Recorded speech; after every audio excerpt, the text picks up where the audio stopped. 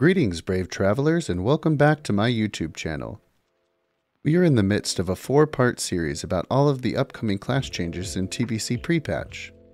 If you haven't seen my last video on the Priest, Mage, and Warlock, I'll have a super convenient link on screen for you to shimmy on over and check it out.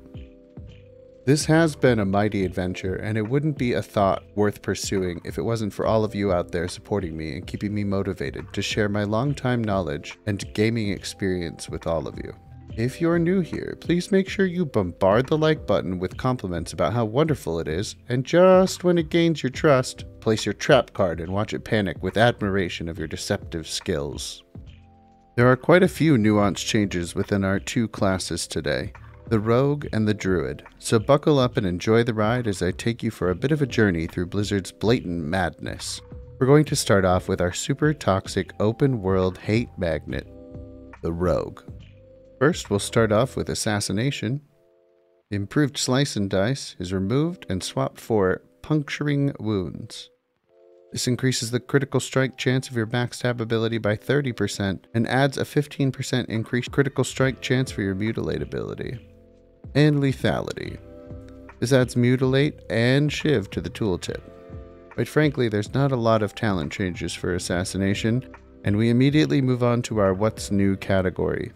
We have quick recovery, very nice if you get dodged, parried, or you miss, fleet footed, master poisoner, deaden nerves, and mutilate. Moving over to combat, we have improved backstab, replaced by improved slice and dice, which we just talked about from the assassination tree. Weapon expertise, the tooltip changed from increases your skill with sword, fist, and dagger weapons by 5 to increases your expertise by 10. And in the What's New category for combat rogues, we have Blade Twisting, Vitality, Nerves of Steel, Combat Potency, and Surprise Attack. Our last two are major DPS increases for our lovely combat friends in PvE. On now to the PvP fun time spec. There were a lot of optimizations and changes in this spec. The talent opportunity adds mutilate to the tooltip. Elusiveness moved down to row 4 and swapped with improved sap Improved Sap, which in Classic gives you a 90% chance to return to stealth after using Sap, changed to Dirty Tricks, which increases the range of your blind and sap abilities by 5 yards, and the energy cost of both is reduced by 50%. The reason for this change was because sap was made an ability that doesn't break stealth anymore. Hemorrhage changed from classic to TBC. It went from being basically just a weapon damage swing with 30 charges of a debuff that increased physical damage dealt to the target, now swapped to 110% weapon damage, increasing physical damage done by more and reducing the stacks to 10.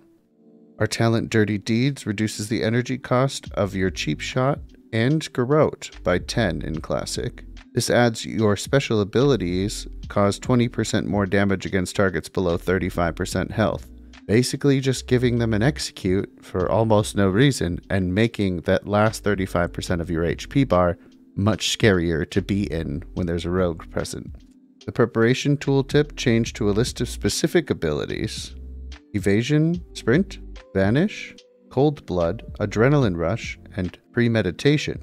Note, the big ones not on this list include Cloak of Shadows and Blind. What's new for the Subtlety Rogue? Master of Subtlety, Cheat Death, Enveloping Shadows, Sinister Calling, and Shadow Step. As I mentioned before, sub-rogues really shine in PvP environments, especially with the new added talents that seemed like all Blizzard wanted to do was make them the most annoying melee class in the game possible. Let's move on to our spells and ability changes for all of the rogue. Blind has been changed from a poison effect to a physical debuff. The cooldown has been reduced from 5 minutes to 3 minutes. This ability no longer has a material cost as it is no longer considered a poison. And PvP trinkets now apply to many more things, including blind. Garrote adds a 3 second silence to the tooltip. And evasion now includes physical ranged attacks as well as melee attacks in its dodge chance increase. And now on to Kitty Sprinkles McGee, the Druid. Starting with balance, there are quite a few revamps and changes here, so be patient and take notes if these pertain to you. Improved Wrath changed to Starlight Wrath. This sees the same reduction in Wrath cast speed, but also reduces Starfire cast speed by 0.5 seconds. Improved Moonfire, same max value, but changed to 2 points from 5. Natural Shapeshifter moved to the Resto tree. Natural Weapons was removed from this tree. Omen of Clarity removed and also added to the Resto tree. We have Control Nature, which adds Cyclone to the tooltip.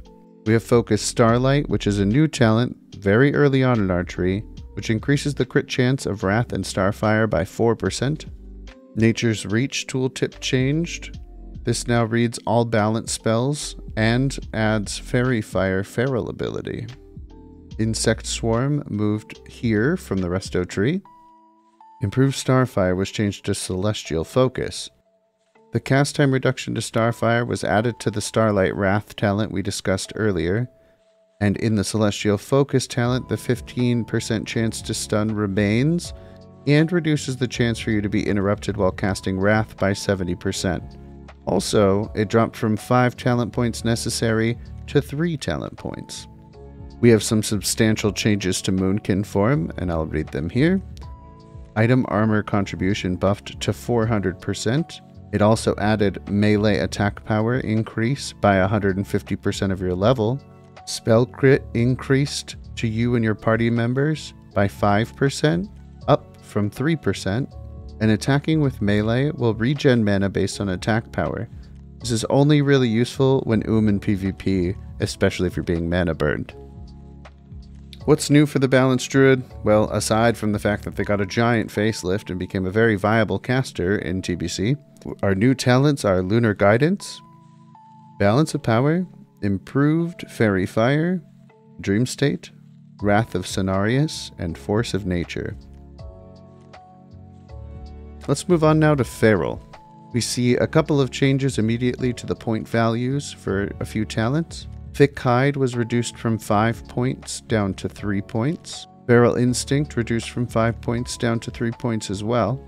Onto Primal Fury and Blood Frenzy from Classic. They were combined now into just one talent called Primal Fury. Improved Shred changed to Shredding Attacks. The energy cost reduction increased to 18 from 12 and adds a reduction to the cost of your Lacerate ability. Savage Fury, Maul and Swipe were removed and replaced with Mangle Cat ability. Art of the Wild. Strength increased for cat form, reduced from 20% to 10%. Leader of the Pack increased to 5%, was 3%. And what's new for our feral friends? Nurturing Instinct, Survival of the Fittest, Improved Leader of the Pack, Primal Tenacity, Predatory Instincts, and Mangle. Let's talk about our sprinkly friends, the Resto Druid. Improved Enrage was removed. Natural Shapeshifter from Balance Tree moved to its place in the Talent Tree. Improved Healing Touch changed to Naturalist. Same healing touch cast reduction, and now also increases the damage you deal with physical attacks in all forms by 10%. Reflection changed to intensity. Mana regen while casting was increased from 15% to 30%, and instantly generates 10 rage when you use the Enrage ability. This was adopted from the improved Enrage talent. And the Subtlety talent adds a 30% reduction in chance for your spells to be dispelled. What's new for our Resto Druids? Empowered Touch, Living Spirit, Natural Perfection, Empowered Rejuvenation, and Tree of Life. Our spell changes for the Druid. Barkskin is now usable while stunned, frozen, incapacitated, feared, or asleep. Demoralizing Roar attack power reductions increased or rounded up at all ranks, which I will have on screen. Enrage removed, the druid is considered in combat for the duration effect from this ability. Hurricane's 1 minute cooldown removed. However, they did apply the AoE cap to this spell. Ravage percent damage increased from 350 up to 385. Regrowth mana cost reduced quite substantially at all ranks. Swipe adds attack power scaling to its base damage. And Tranquility's mana cost and healing done both increase significantly, which I will also have on screen. What I didn't talk about specifically with the rogues was that when you tab target and don't apply combo points to that target, if you tab back to the last target that you had that you were gaining combo points on, those combo points will still be there. This is the case for both rogues and feral druids. It was not the case in Classic, if you weren't aware. Thank you for sticking around through the grand journey of thievery, deception, and tree hugging. If you found any of this information helpful to you in any way, make sure you give the video a like and subscribe to catch the next update on this series. Our wonderful plate friends, the Paladin and the Warrior, are up next.